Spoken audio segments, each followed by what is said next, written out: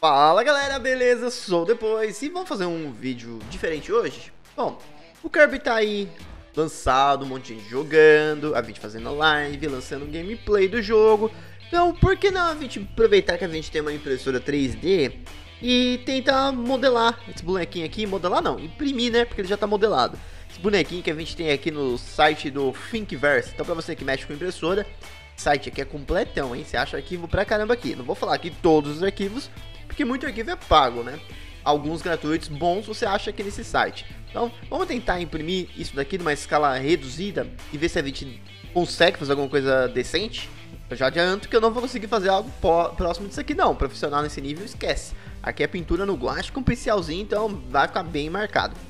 Vamos tentar? Bora lá, vamos baixar o arquivo pra gente começar a fazer a modelagem. Mas antes disso, já vai deixando seu like aqui embaixo se você curte esse tipo de vídeo e vai se inscrevendo no canal se você for novo por aqui. Agora, bora lá pro programinha, a gente baixou os arquivos e vamos tentar ajustar pra nossa impressora? Bora! Bom, a gente baixou um arquivo aqui, a gente tem diversos modelos aqui, aí você fica meio perdido, mas calma lá, vou explicar o porquê. Aqui no site a gente pode ver que o Kirby feito, foi feito em várias partes. Imagina você imprimir o Kirby inteiro desse jeito e de repente no meio do processo ele dá erro aqui nessa parte do braço do Kirby. Você perdeu a peça inteira. Isso aqui geralmente não é um processo rápido de fazer, principalmente se você manter no tamanho real. Então o que, que os caras fizeram aqui? Basicamente eles separaram a peça em diversas pe partes. Assim você imprime uma por vez. Se der erro em uma, você refaz somente aquela peça. Então muito melhor, convenhamos, né? Então os arquivos estão aqui pra gente, que são referentes a cada parte.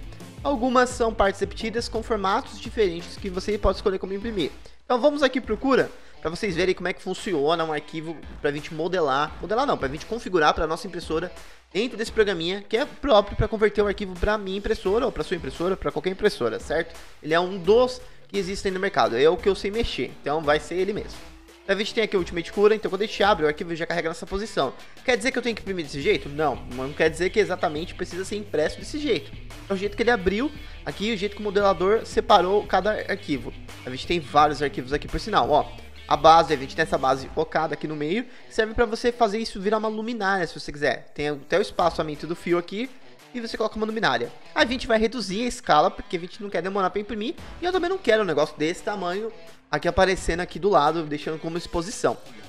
Então, o que, que a gente vai fazer? A gente vai reduzir a escala de cada um. Ó, aqui a gente tem a base sólida. Só que pensa o seguinte, a base sólida, isso aqui vai demorar muito mais tempo para imprimir do que se eu imprimir essa base aqui, tem um buraco no meio. Ou seja, já um espaço a menos para preencher ali, para fazer a cobertura na hora de imprimir.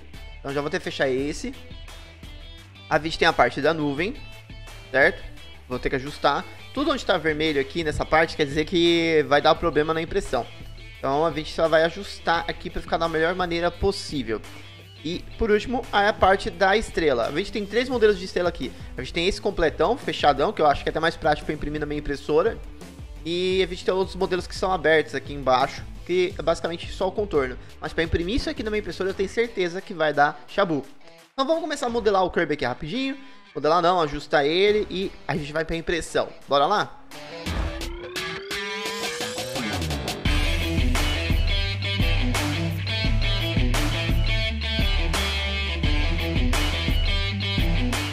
Bom, a gente ajustou ali, a gente mandou fatiar cada peça individualmente. Agora vamos dar uma olhada aqui como ficou cada parte.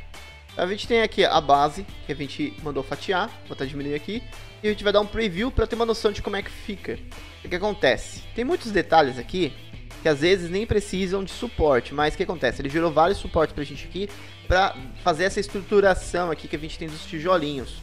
Às vezes nem precisa, nesse caso aqui, dessa, desse suporte eu vou até ajustar. Porque eu acho que isso aqui vai dar problema na questão da leitura, vai acabar danificando até a peça. Mas só para vocês entenderem melhor aqui como funciona, ó. O que, que ele vai fazer no meu caso? Ele vai criar uma base, vai criar uma estrutura embaixo.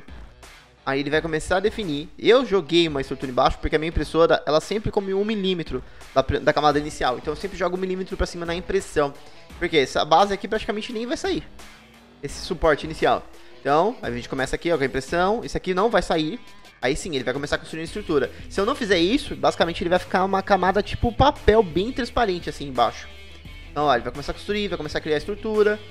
Aí ele vai fazendo preenchimento. Prestem atenção no seguinte, mesmo reduzindo a escala disso aqui, olha o tempo que ficou, 7 horas para imprimir somente essa base.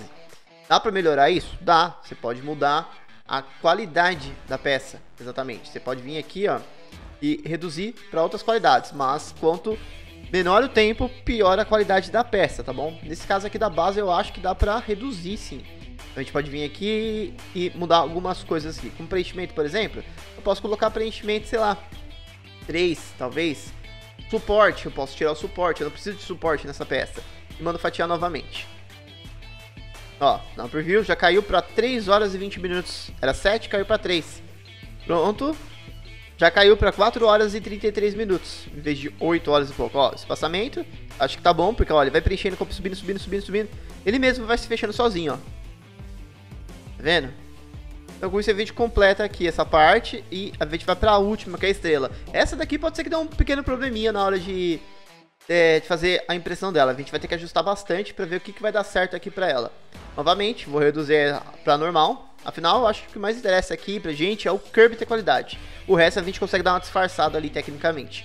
Consegue, sei lá, jogar uma camada por cima de Prime, dar um acabamentinho e de repente é tampar. Já o Kirby, complicado, porque tem o detalhe do olho, da boca, do tudo mais, né? Então, mesma coisa, ó, 3 horas e 57 minutos para imprimir a estrela. E, de novo, mesma coisa. A estrela precisa estar tá com preenchimento, porque ela é locada, né? Então você começa a vir aqui, ela vai começar a criar estruturas embaixo pra gente.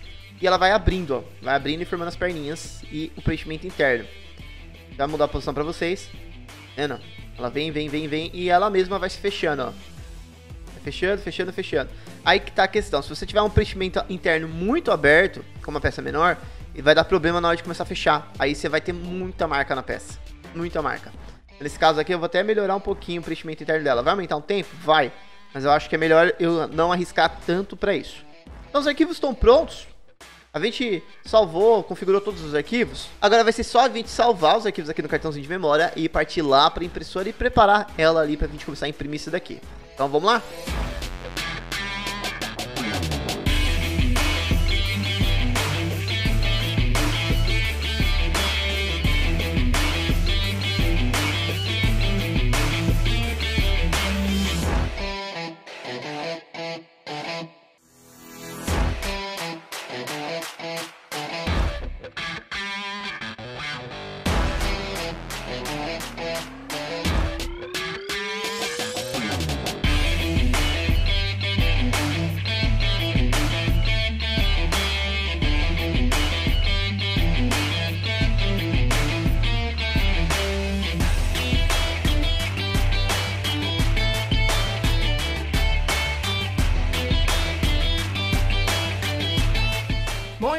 Finalizada, então a gente tem aqui as quatro peças que a gente imprimiu separadas ali. Vocês viram aí no vídeo o modo tentativa de acelerar a impressão, né? Então a gente tem o nosso queridíssimo Kirby, que foi impresso aqui, numa qualidade melhor que as demais peças. Porém, entretanto, toda a vida ficou com algumas marcas aqui do suporte que a gente removeu, mas não conseguiu tirar nem com alicate. Então para isso eu vou usar um ferro de solda. Exatamente isso que você está ouvindo, eu vou usar um ferro de solda para vir tentando arrancar esses pedaços que eu não consegui arrancar com alicate de corte, nem de outra maneira. Vou tentar dar um acabamento nessa parte de baixo, que geralmente fica bem marcada quando você arranca o suporte.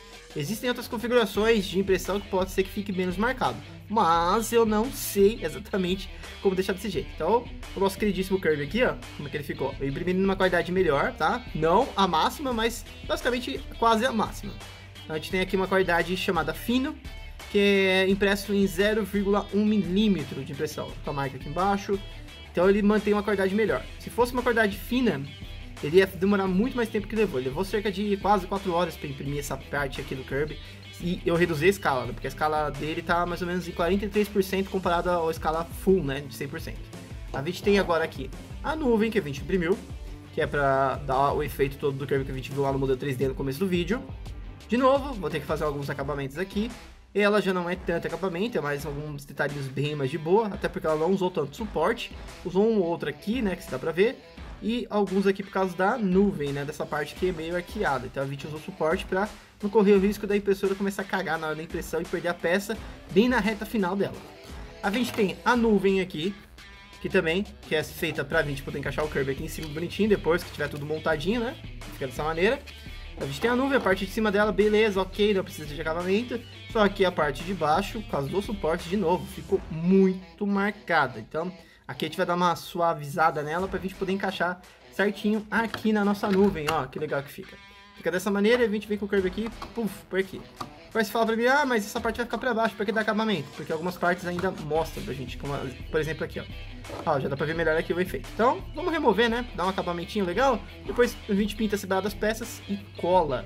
Lembrando que esse modelo 3D aqui, você também consegue fazer uma luminária, tá? Tem um modelo que ele é ocado aqui a parte de baixo. Só tem os contornos. Eu não quis fazer porque eu tenho que usar muito suporte e fiquei com medo de dar merda mesmo, né? Literalmente. Então, deixa dessa maneira. Vou pintar a estrela de amarelo mesmo e assim seja. E por último, a gente tem a base aqui, que a gente tem, a gente imprimiu escala reduzida. E, de novo, ó, minha impressora, ela fica muito para baixo. Mesmo jogando para cima, ela acaba matando uma das primeiras camadas. Então ficou muito fina, mas como eu vou jogar Prime por cima, isso aqui acaba praticamente sumindo. A gente tem aqui essa peça, praticamente eu não preciso dar acabamento nela, porque como ela é impressa de pé, no máximo que eu poderia fazer é, sei lá, tentar dar uma suavizada aqui na parte de baixo, mas besteira. Essa peça aqui já pode diretamente receber o Prime pra gente. Eu peguei essa peça com o modelo Okada aqui dentro pra gente economizar tempo na impressão, beleza? Então agora a gente vai fazer o acabamento da peça, já mostro pra vocês, depois a gente vai aplicar o Prime, beleza? Vamos lá? Vamos lá, a gente já pegou o ferro de solda aqui. Crianças não façam isso em casa, tá bom? Eu vou me responsabilizar aqui se acontecer alguma coisa comigo, então não faça isso em casa, por favor você pode estragar a peça e perder um puta trabalhão e além de se queimar, porque o ferro de solda é quente demais. Vamos lá, vamos começar aqui, ó, presta atenção no bracinho. Então vamos tentar dar uma suavizada aqui de leve o ferro. Acabei de ligar, não sei se vai esquentar o suficiente. Como a gente vai usar depois o Prime, então eu acho que não vai ser um problema, né? A gente pelo menos dá uma suavizada aqui, depois tenta dar uma lixadinha na peça. E com o Prime a gente termina de corrigir qualquer tentativa de erro que tenha ficado na peça aqui, né? Claro, isso aqui não vai fazer milagre, tá bom? Mas pelo menos eu vou tentar suavizar um pouco essas marcas aqui de suporte que eu não consegui estar tá arrancando da peça aqui na hora que eu tirei o suporte, beleza? Então vamos ver aqui, ó, a perninha dele, ó, vocês podem ver que tem uma marca bem marcada aqui, né? Esse suporte aqui. Vamos tentar suavizar ele.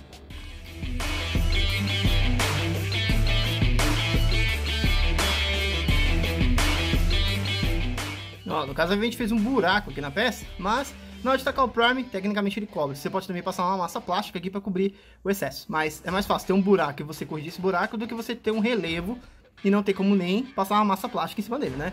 A parte de baixo aqui do braço, ó. Tá cheio de marca também, ó.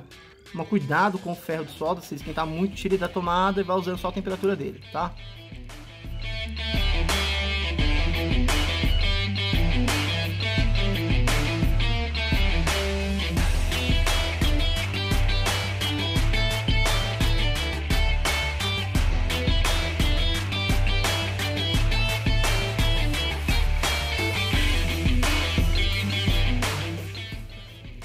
E é isso, ó. A gente deu uma suavizada ali, o máximo que a gente conseguiu com ferro de solda pra gente evitar fazer muita mais cagada. O certo, como eu disse pra vocês, é usar uma retífica ou alguma coisa que você consiga deixar de uma maneira mais eficaz. Uma lima ou coisa do gênero para reduzir bem a questão das marcas. Mas eu fiz isso agora porque eu vou passar o Prime. Depois que o Prime tiver aplicado, a gente vê se vai fazer mais, vai precisar de mais correções. Aí a gente tenta fazer outras correções em cima do Prime aplicado. Bora lá passar o Prime?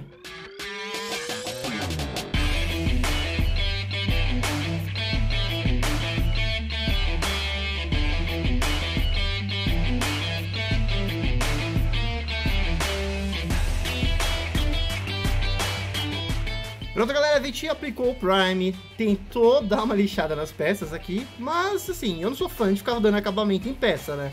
Então eu fiz o que eu consegui ali, vocês podem ver que aqui tá bem diferente, porque foi as partes que mais lixei, né? Que eu mais tentei dar acabamento. Não consegui remover essa marca aqui, então na pintura isso aqui vai ficar visível, mas tudo bem, paciência. Aqui eu passando a mão praticamente tá liso, vamos ver se no pincel isso aqui vai ser corrigido, tá? Aqui em volta não tinha muito o que fazer, passei por cima mesmo, tá?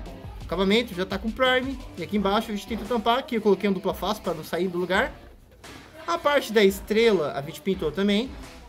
Pintou lixar. Algumas partes até que eu consegui deixar mais lisas, mas ainda dá pra ver as marcas, né? Aqui embaixo não deu pra fazer muito milagre, mas a gente tentou fazer o que pôde, né?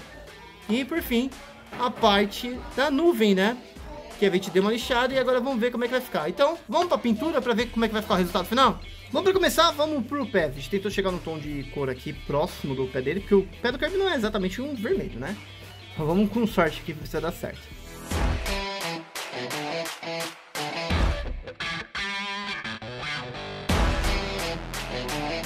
Agora vamos pra estrela enquanto o pé do Kirby seca, senão a gente vai melecar tudo aqui. Então vamos lá.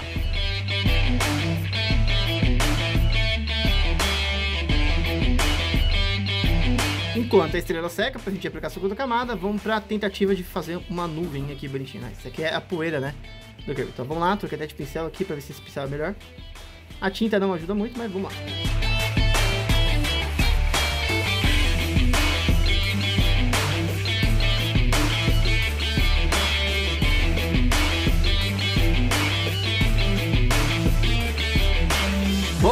Pro Kirby, o pé dele aqui já secou. Então agora vem a parte de pintar o Kirby de rosa. Bora lá!